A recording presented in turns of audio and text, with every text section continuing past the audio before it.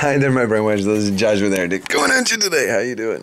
So, um, I had had a, I have had a question given to me by certain individuals on the interwebs. Oh, that's bright. Let's turn it around. So they have asked me. They basically they came to me and said, "Listen, they they saw my video on the freaking giants and blah blah and they're like i don't i don't know i have a hard time believing in the bible because it says the giants existed.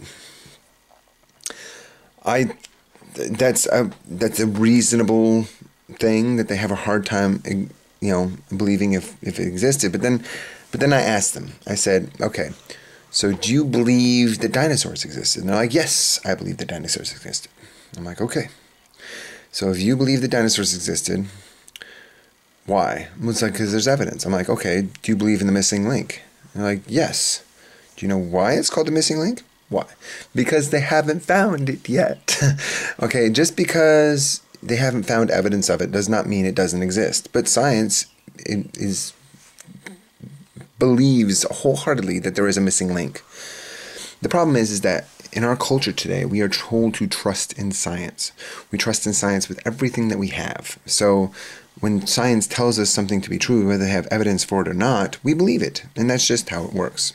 Now, why can't we have that same faith with God? When we have that faith with God, we put our trust in God. We believe everything that God tells us.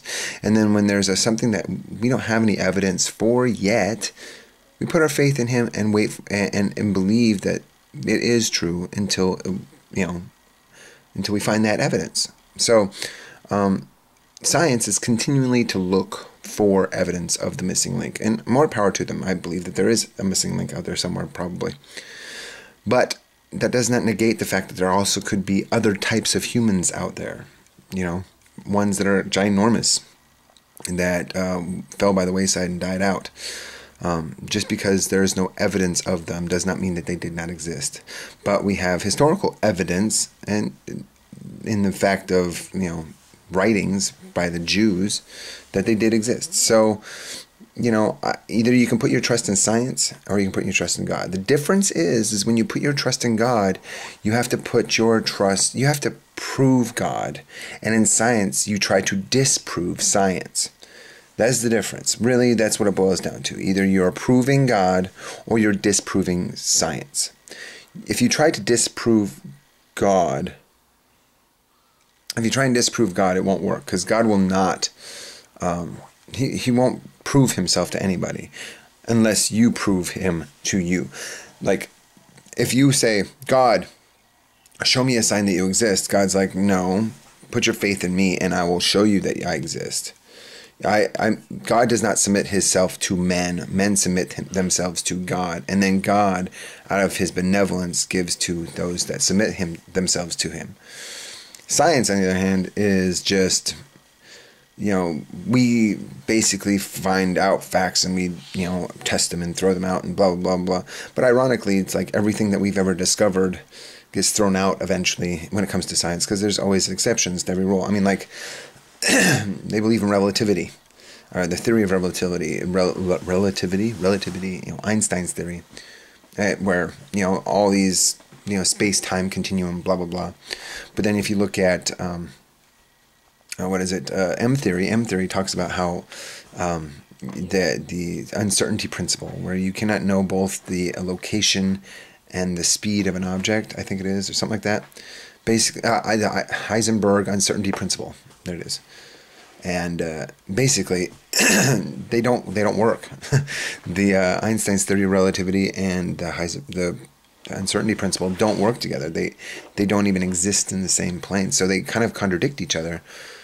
So obviously they don't have a full understanding of something, but they believe wholeheartedly. They believe that there is a way that these will work together. And spiritually speaking, we can do the same thing.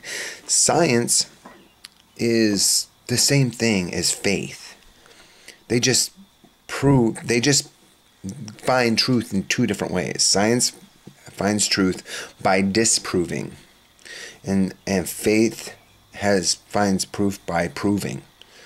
God says, Do this, and I will show myself to you. And so you do this, and God shows himself to you. And he says, Do this, and I will prove it. And you do that, and it proves it. He's only going to prove it to you. He's not going to prove it to anybody else. But if you do one scripture, he'll prove it to you. You do another scripture, he'll prove that to you. You do another scripture, he'll prove that to you. And the more scripture you prove, the more faith you have in God, and the more connected you are to God. And it's just this continuing cycle. So, I don't know. I hope this answers your question because it was a great question. And I, I really think that a lot of people suffer from the same kind of feeling of confusion uh, about these things in the Bible. I don't see there being any possible. Why couldn't there be larger humans? I mean, they found huge freaking saber toothed cats. They found miniature elephants. You know what I'm saying? They, it's like they found massive three toed sloths. Why can't there be freaking massive humans? So anyway, um, just my thoughts. Uh, I'm the heretic. Uh, I love you all long time, uh, and uh, I will talk at you later.